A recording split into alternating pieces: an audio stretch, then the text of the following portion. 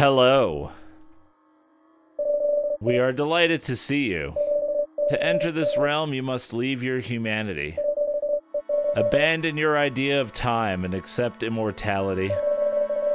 You can leave and return as you will, compared to your current life where there is only one way out. Do you agree to abandon humanity, time, and accept immortality? Fuck yeah.